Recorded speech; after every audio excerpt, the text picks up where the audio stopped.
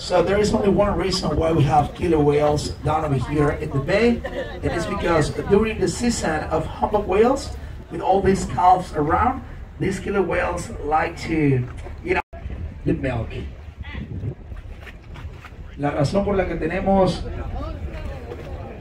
las orcas en esa temporada es porque vienen aquí a comer a la ballena jorobada, las crías. La única parte del cuerpo de la cría que se come es la lengua por el sabor a leche que tienen cuando se están alimentando.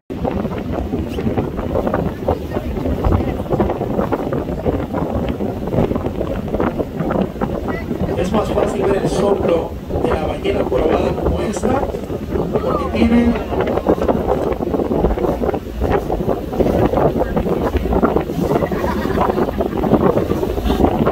Bueno, les decía, es más fácil ver eh, el soplo de la ballena jorobada porque tiene dos fosas nasales. Eso hace que cuando respira, el agua sale así, de este tipo de, de fuerza y en esa dirección. Reason why we can see easily the humpback whales around here, it is by breathing. They have two blowholes in, so this explosion, it's easier to see it than dolphins and big orcas.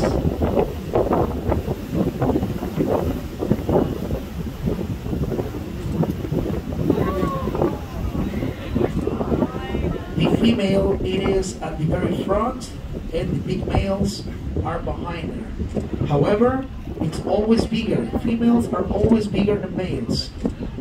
La hembra va hacia adelante del grupo, liderando los machos. Sin embargo, la hembra siempre es más grande que los machos.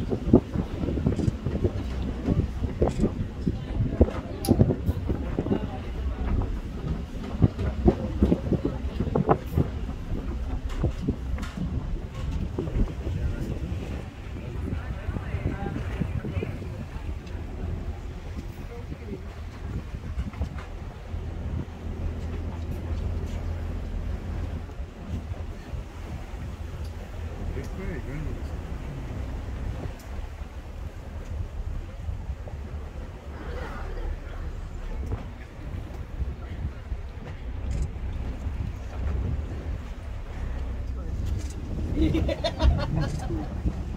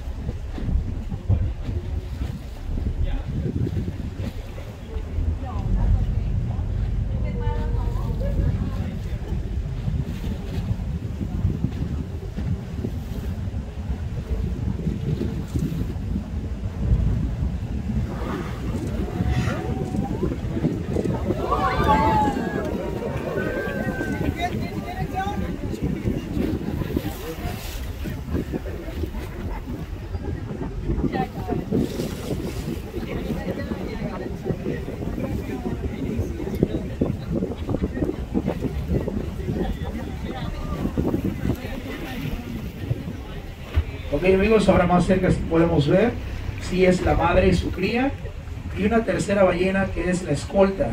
What we have here is closer, it is a calf. This is a calf with the mother and a third big whale which is the escort.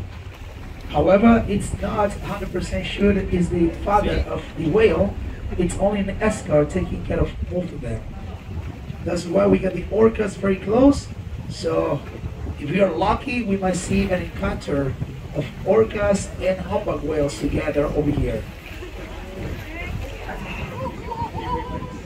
That's the calf. Esa es la cría.